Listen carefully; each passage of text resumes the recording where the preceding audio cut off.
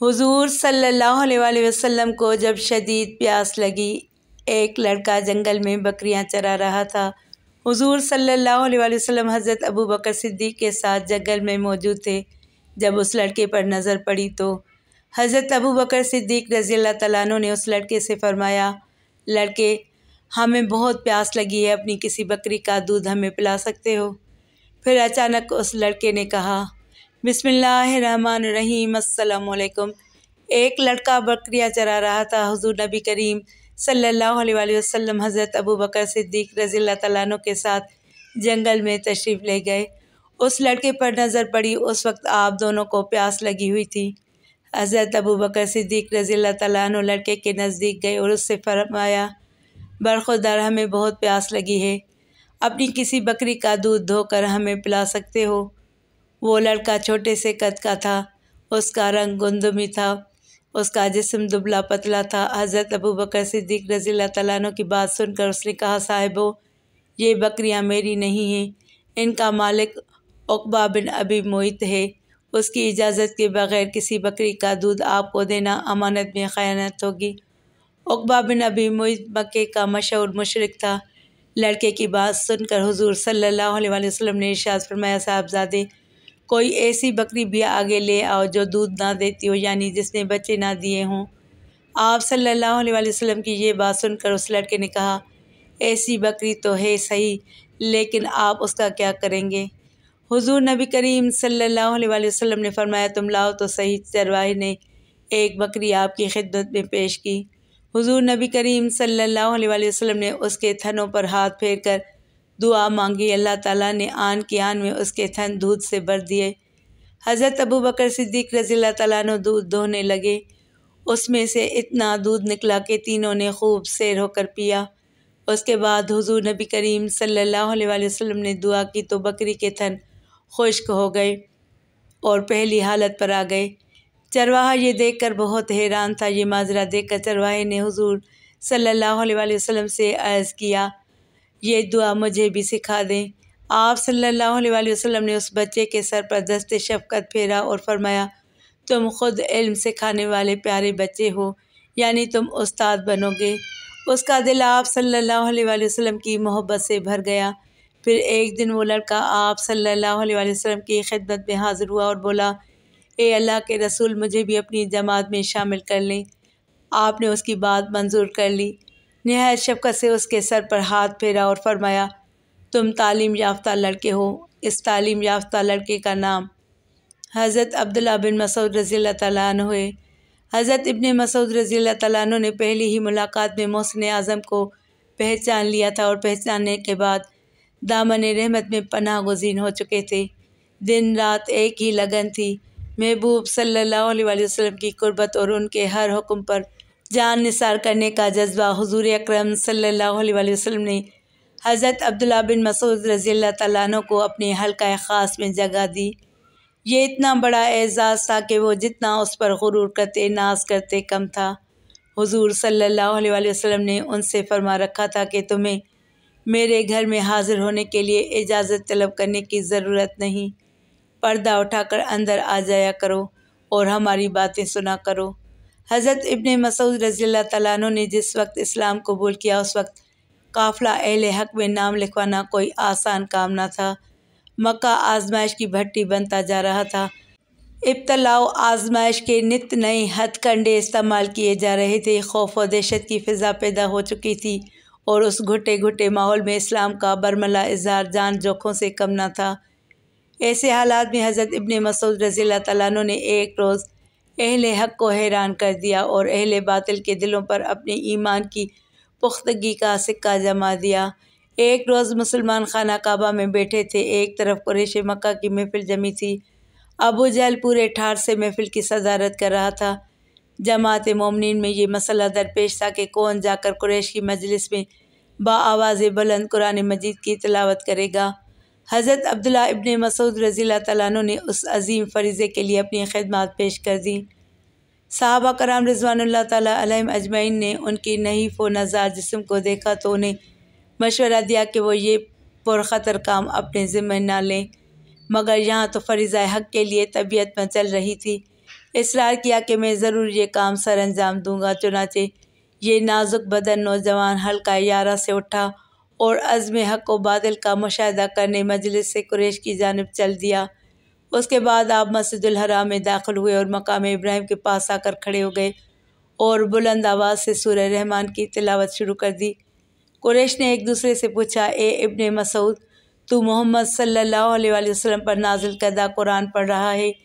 ये सुनना था कि दुश्मन टूट पड़े और हज़रत अब्दुल्ला रज़ी तु को मार मार कर लहू लहान कर दिया। उनका लिबास खून में शराब और लेकर ज़बान पर कलाम कलाम रब्बानी की तिलावत जारी थी। जब आप फारग होकर साथियों के पास पहुँचे तो आपके जिस्म से खून बह रहा था। साहबा ने आपकी ये हालत देख कर फरमाया कि हमें इस बात का अंदेशा था। हज़रत अब्दुल्ला बिन मसूद रज़ी तु ने कहा कि अल्लाह की कसम अब दुश्मनान खुदा मेरी नज़र में कोई हैसियत नहीं रखते। अगर आप इजाज़त दें तो मैं फिर से कल सुबह उनके सामने जाकर वही कुरान करीम की तलावत करूँ। सबने रोक दिया और अर्ज़ किया कि आपने हक़ अदा कर दिया और कुरेश को वो मुक़दस कलाम सुना दिया जिसको वो सुनना नहीं चाहते थे। इब्न मसूद रज़ी तु ने दरसगाह नबूत से ही तालीम हासिल की। कुरान मजीद की तिलावत शरीत इलाहिया कुरान फहमी साहबा कराम रिजवान तजमैन अजमैन के दरमियान आपको ख़ास मकाम व मरतबा हासिल था। वकूफ़ अरफा के दौरान एक शख्स हज़रत उमर रज़ी तु की खिदमत में हाज़िर हुआ और अर्ज़ की कि, ए अमीरमिन इस वक्त मैं कोफा से आ रहा हूँ।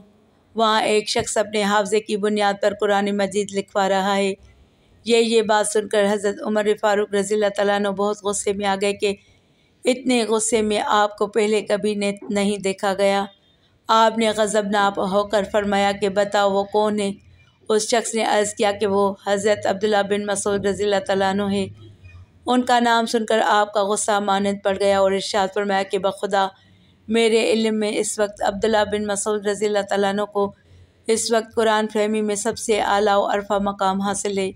एक रात नबी करीम सल्लल्लाहु अलैहि वसल्लम और हज़रत अबू बकर सिद्दीक़ रज़ी तु बैठे उम्मत मुसलमा के मतलब गुफ्तु कर रहे थे और हज़रत उमर रज़ी तु फरमाते हैं कि मैं भी उन्हीं में शरीक था। अचानक नबी करीम सल्लल्लाहु अलैहि वसल्लम उठे और एक जानब चल पड़े। हम भी आप सल्लल्लाहु अलैहि वसल्लम के साथ चलने लगे। क्या देखते हैं कि एक शख्स मस्जिद में खड़ा ऊँची आवाज़ में नमाज़ पढ़ रहा है और अंधेरी की वजह से हम उसे पहचान ना सके। नबी करीम सल्लल्लाहु अलैहि वसल्लम ने खड़े होकर किरत सुनना शुरू कर दी। फिर आप सल्लल्लाहु अलैहि वसल्लम हमारी जानब मुतवजा हुए और इर्शाद फरमाया कि जिसे ये बात पसंद है कि वह कुरान करीम को उस लहजे में पढ़े जिसमें वो नाजिल हुआ है तो अब्दुल्ला बिन मसूद रज़ी तु की किरत को अपना ले। नमाज़ के बाद जब अब्दुल्ला बिन मसूद रज़ी तु ने ऊँची आवाज़ के साथ दुआ शुरू की तो अल्लाह के रसूल सल्लल्लाहु अलैहि वसल्लम ने इरशाद फरमाया कि मांगो, तुम्हारी दुआएँ कबूल की जाएँगी। फिर हज़रत उमर रज़ी तु ने अपने दिल में ये इर्शाद फरमाया, अल्लाह की कसम, मैं ज़रूर सुबह को अब्दुल्ला बिन मसूद रज़ी तु को ये इतला दूँगा कि रात नबी करीम सल्लल्लाहु अलैहि ने तेरी दुआ पर आमीन कहा है। फरमाते हैं कि जब मैं सुबह सवेरे खुशखबरी देने गया तो क्या देखता हूँ कि हज़रत अबू बकर सिद्दीक रज़ी तु मुझसे पहले खुशखबरी सुना चुके हैं। हज़रत उमर रज़ी तु फरमाते हैं बरमला में इस बात का एतराफ़ करता हूँ कि हज़रत अबू बकर सिद्दीक रज़ी तु मुझसे हर नेकी के काम में सबकत ले गए। ख़ुद हज़रत अब्दुल्ला बिन मसूद रज़ी तु अपनी कुरान फहमी से मुतलिक ख़ुद फरमाते हैं कि कसम है उस ज़ात की जिसके सिवा कोई मबूद नहीं। इसी के फजल करम से मुझे कुरान की हर आयत के मतलब इल्म हुआ है कि वो कहाँ नाजिल हुआ। उसका शान नज़ुल क्या है? जब मुझे ये इल्म होता कि फ़लाँ शख्स कुरान फहमी के मतलब मुझसे ज़्यादा मालूम रखता है तो मैं उसकी खिदमत में जाकर मालूम हासिल करने की कोशिश करता। हज़रत अब्दुल्ला बिन मसूद रज़ी तु ने साठ साल की उम्र में वफ़ात पाई। हज़रत उस्मान गनी रज़ी तु ने नमाज़ जनाजा पढ़ाई और जन्नतुलबकी में दफन किए गए। हज़रत अब्दुल्ला बिन मसूद रज़ी तु सरकार दो आलम सल्लल्लाहु अलैहि वसल्लम के करीबी और पसंदीदा साथियों में से थे। आप सफ़र व हज़र में हुजूर सल्लल्लाहु अलैहि वसल्लम के साथ रहे। हुजूर सल्लल्लाहु अलैहि वसल्लम ने उनसे फरमा रखा था कि तुम्हें मेरे घर में हाजिर होने के लिए इजाज़त तलब करने की ज़रूरत नहीं। पर्दा उठाकर अंदर आ जाया करो और हमारी बातें सुना करो।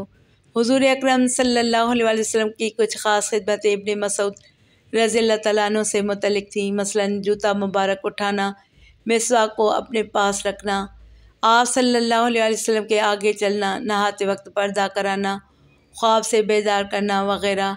इब्तदाई इस्लाम में जब अपने इस्लाम का इजहार नहायत मुश्किल था, आप वो पहले मुसलमान थे जिन्होंने बैतुल्ला शरीफ के पास खड़े होकर मस्ताना वार सुर रहमान की बावाज़ बुलंद तलावत की और कुफ़ार मक्का का जुल्म बर्दाश्त किया। हुजूर अकरम सल्लल्लाहु अलैहि वसल्लम ने फरमाया, कुरान मजीद को उन चार अफराद से हासिल करो। सबसे पहले अब्दुल्ला बिन मसूद रज़ी तु का नाम ज़िक्र फरमाया। बाज़ अज़ा अबी बिन काब, सालिम मुला और माज बिन जबर रज़ी तु के असमा गिरामी लिए। हज़रत उज़फ़ा रज़ी तु फरमाते हैं कि रसूल अल्लाह सल्लल्लाहु अलैहि वसल्लम की आदात व अतवार में अब्दुल्ला बिन मसूद से मुशाबत रखने वाला मैंने किसी को नहीं देखा। रसूल अल्लाह सल्लल्लाहु अलैहि वसल्लम के करीबी असाब की नज़र में अब्दुल्ला बिन मसूद रज़ी तु दर्जात के अतबार से अल्लाह ताला के ज़्यादा करीब हैं। रसूल अल्लाह सल्लल्लाहु अलैहि वसल्लम ने फरमाया, मैं अपनी उम्मत के वास्ते वो पसंद करता हूँ जो इब्ने मसूद उसके वास्ते पसंद करें और उम्मत के वास्ते उस चीज़ को नापसंद करता हूँ जिसे इब्न मसूद नापसंद करें। इस फरमान अजमत निशान को सामने रखते हुए जब हम देखते हैं तो हमें हज़रत अब्दुल्ला बिन मसूद रज़ी तु का सबसे पहला इजतहाद जो नज़र आता है वो खिलाफत सिद्दीक अकबर के बारे में है। हुजूर अकरम सल्लल्लाहु के विसाल के बाद हज़रत अबू बकर सिद्दीक की खिलाफत के बारे में इबन मसूद ने उन खूबसूरत अल्फाज में इजतहाद किया कि हम अपने दुनियावी मामला के लिए इसी शख्सियत को पसंद करते हैं जिसे रसूल अलैहि वसल्लम ने हमारे दीनी उमूर के लिए पसंद फरमाया है। यानी जिस हस्ती को हुजूर अलैहि वसल्लम ने नमाज़ की अमानत के लिए मुकर फरमाया है, उसी को हम खिलाफत के लिए पसंद करते हैं।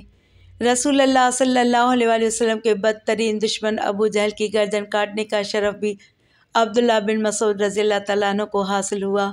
दो नन्हे बच्चे माज और मऊज़ ने जब अपनी तलवारों से अबू जहल को घायल कर दिया तो हज़रत इब्ने मसूद रज़ी तु का उस तरफ़ से गुज़र हुआ। हज़रत इब्ने मसूद रज़ी तु के पास कार आमद तलवार ना थी। उन्होंने अबू जहल की तलवार उठाई। अबू जहल की नज़र उन पर पड़ी तो वो उनके इरादे को भाप गया। उसने कहा, ए हकीर, भेड़ें चराने वाले, तूने मुश्किल काम को हाथ डाला। हज़रत इब्ने मसूद रज़ी तु ने उसके साथ ही उसकी गर्दन काट दी और उसका सर और तलवार दोनों को लाकर रसूल करीम सल्लल्लाहु अलैहि वसल्लम के कदमों में डाल दिया। रसूल अल्लाह सल्लल्लाहु अलैहि वसल्लम ने वो तलवार आप ही को इनायत फरमा दी। हज़रत इब्ने मसूद रज़ी तु का कद छोटा था, पिंडलियाँ पतली पतली थी। एक मरतबा रसूल अल्लाह सल्लल्लाहु अलैहि वसल्लम ने उन्हें दरख्त पर से कोई चीज़ उतारने का हुक्म दिया। वो दरख्त पर चढ़े, उनकी बारी पिंडलियों को देख कर साहबा कराम की हँसी छूट गई। रसूल अल्लाह सल्लल्लाहु अलैहि वसल्लम ने इरशाद फरमाया, तुम क्या हँसते हो? अब्दुल्ला की टांगे मीज़ान यानी अल्लाह के तराजू में ओहद पहाड़ से ज़्यादा भारी हैं। हज़रत उमर रज़ी तु ने एक रोज़ इब्न मसूद रज़ी तु को बैठा देखा तो फरमाया, ये इल्म मार्फत से भरी छागल हैं। हज़रत उमर रज़ी तु ने बीस हिजरी में अम्मार बिन जासर रज़ी तु और अब्दुल्ला बिन मसूद रज़ी तु को कोफ़ा भेजा और अहल कोफ़ा को लिखा। मैंने अम्मार बिन जासिर को अमीर और अब्दुल्ला बिन मसूद रज़ी तु को मुअल्लिम बनाकर तुम्हारे पास भेजा है।